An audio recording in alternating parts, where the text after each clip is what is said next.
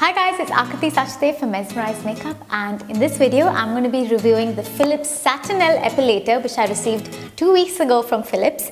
The code number of this particular product is called BRE210-00. I was so excited because guys, to be honest, I wax, shave and epilate. It really depends on my mood, depending on the occasion, where I am.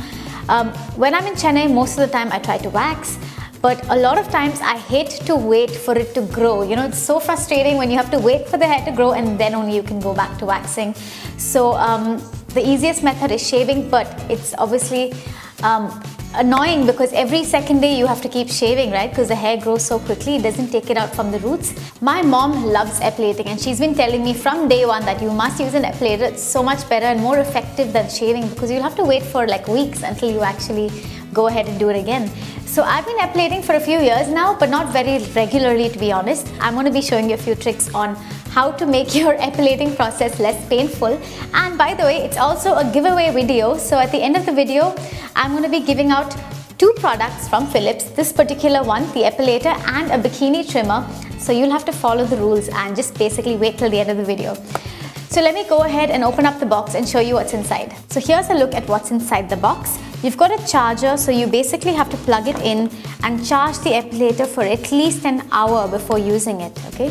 So please remember you must charge it, never use it while it's charging. So after it's completely charged, you take it out and then you use this particular epilator. The benefit of this particular epilator is that you can use it wet and dry. So you can go ahead and use it while you're in the shower or when you're in the bathtub. And also when your body is completely dry you can carry this wherever you want. It's a cordless epilator. So there are two modes okay? You have a fast mode and a slow mode. Basically this also comes with a little brush. So if there's any hair stuck you can just clean it up. Go ahead and clean it up and start over again. Now in case you want your skin to stretch it comes with a skin stretcher which you have to attach. Let me show it to you. Sorry, it's this way. So when you're epilating, it basically stretches your skin. Let me show it to you actually.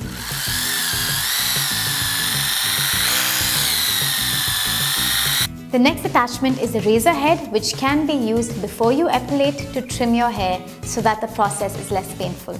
I'm going to go ahead and just push it to one side pull it open. There's a little cap here, so just remove the cap and now fix this. Just this side. There you go. This is completely pain-free, guys. I love this.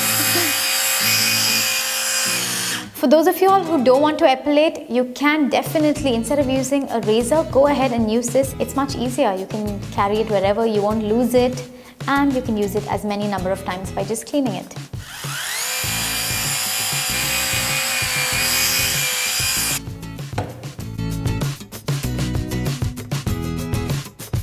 If you're new to epilating, here are 10 simple tips to get you started. First tip is to always shave before you start epilating. So a few days before, Use the razor, this is the razor head which comes with the epilator. Use it all over your arms and legs, wherever you want to epilate. Uh, and then wait for 2-3 days till your hair comes up to like 1 millimeter and then you go ahead and epilate. It's always less painful when there's less hair. If you're really hairy and you try epilating for the first time, trust me, you're never going to get back to epilating because it hurts. Second tip is to use an exfoliator. Always exfoliate your body before you start epilating. It's really important. So when you get into the shower, use a body scrub, scrub your body, get rid of all the dead skin cells. Only then your skin will be smoother and it'll hurt a little less. The third tip is to always stretch your skin. It hurts a little bit less when you stretch your skin, especially areas like your knees, your thighs, the back of your hand. Make sure it's stretched, um, otherwise it's really going to pull your skin. The fourth tip is to use a numbing cream. Now this is only for those of you all who really can't handle the pain. I've never used a numbing cream to be honest because I'm like, okay, Akriti, be a soldier, you have to take the pain. If you want, go ahead to the pharmacy, buy a topical numbing cream, use it half an hour before, okay? You apply it all over your body half an hour before, let it work, and then you have to wipe it out with a wet towel. Wipe every bit of the numbing cream out, and then you dry it with a dry towel, and then you start going back to epilating. You won't feel the pain. The next tip is to always hold the epilator 90 degrees to your hand or whichever part you're um, epilating. So make sure you hold it this way. You don't want to hold it at angles. Each and every strand of hair will come out only when it's held at a 90 degree angle. The next tip is to epilate in the opposite direction of your hair growth.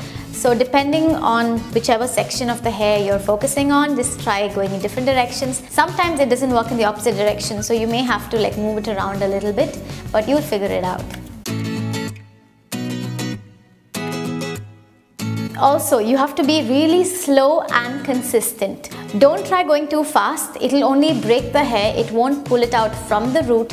So go at a consistent speed, slowly at a 90 degree angle. The next tip is to listen to music while you epilate. Trust me, it's the best distraction. The pain is much less.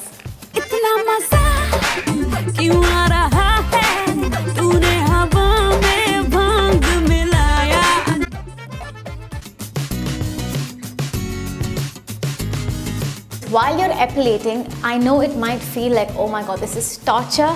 But what you can do while you're listening to music is keep alternating between different body parts. So if you're epilating your arms and you feel like, okay, I can't bear the pain, then just switch to your legs or to the other arm or wherever, to your thighs.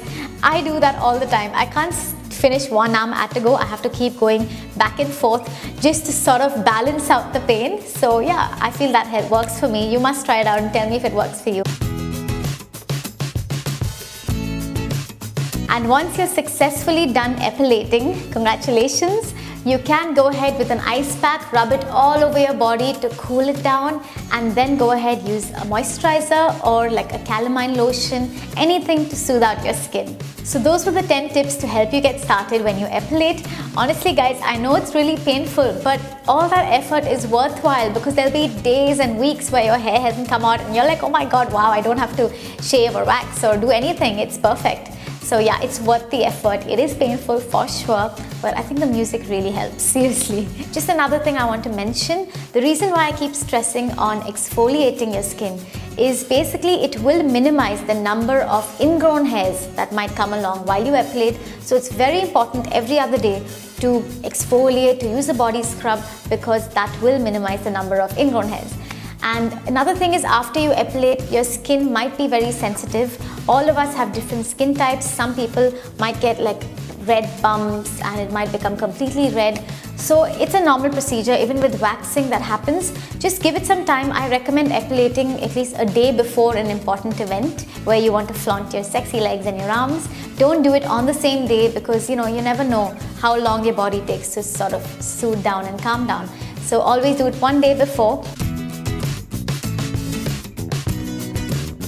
Guys, time for the giveaway. Like I mentioned earlier, there are going to be two winners. One will get this particular set and the other winner will get a bikini trimmer.